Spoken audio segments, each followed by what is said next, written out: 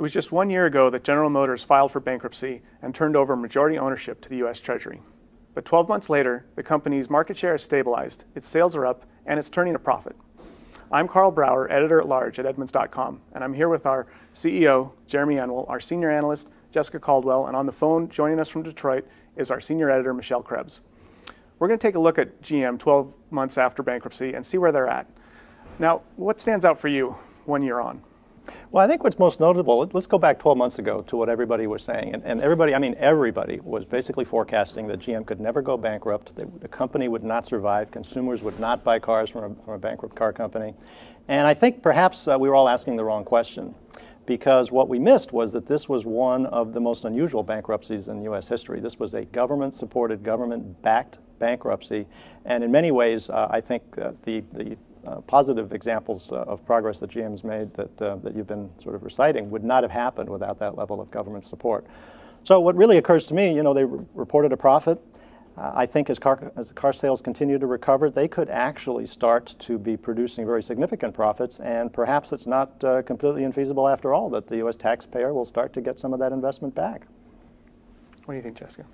Yeah, I mean, uh, you know, I definitely agree with Jeremy. And, and looking back over the past year, you, you, kind of see their progression and what happened a year ago when they declared bankruptcy and incentives were going crazy and inventory was super high, days to turn. They couldn't get those cars off the lot. And now we hear here we are today. Incentives are in place, inventory is definitely in place, and they're not taking as long to sell these cars, which is really the key for them. I mean, they have to sell cars to, to continue. Yeah, the days to turn is really down for them. You know, one of the things that really popped out through that bankruptcy, and we saw it with Chrysler as well, is that consumers, maybe it's because of the economic distress that consumers were feeling, but they actually, the deal seekers actually sought out companies that were in bankruptcy. Sales actually went up, profits actually went up mm-hmm. during the bankruptcy process, and who would have thought that? Right. I mean, we saw, and consumers weren't getting a great deal in bankruptcy. It wasn't until it wasn't until the fall when the inventories were high. GM realized, gosh, we have a lot of 2009 models. We've got to get them off the showroom. That's when the deal started, not during bankruptcy. It's one of the great truths of the car industry is that a great deal is what the consumer thinks it is, not actually what they're paying. I look at this as an incredible opportunity for GM going forward. I mean, imagine as an individual if someone just came in and wiped out your debt and you kept earning the same money that you did and you, did, you only had new bills to pay, not the old ones. So for me, it's just looking at how is GM going to maximize uh, this incredible uh, second chance that it's been given, and it won't be easy because the competition is really stiff, not uh, not standing still by any stretch. Uh, they have to keep on turning out some great products and uh, uh ones that people are willing to pay a premium for. So, a tough road going ahead, but uh, it's a wonderful opportunity for GM. Well, I think you're right. I mean, going forward, the key has got to be great products.